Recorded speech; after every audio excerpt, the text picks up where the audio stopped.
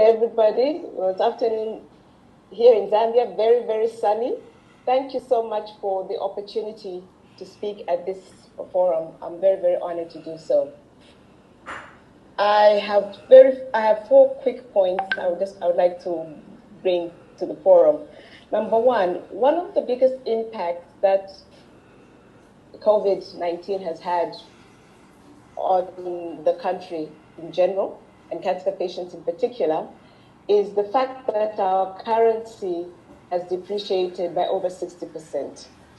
So that means, of course, everything has gone up from food to transport to rent, uh, electricity, utilities, and accessing cancer drugs and other services.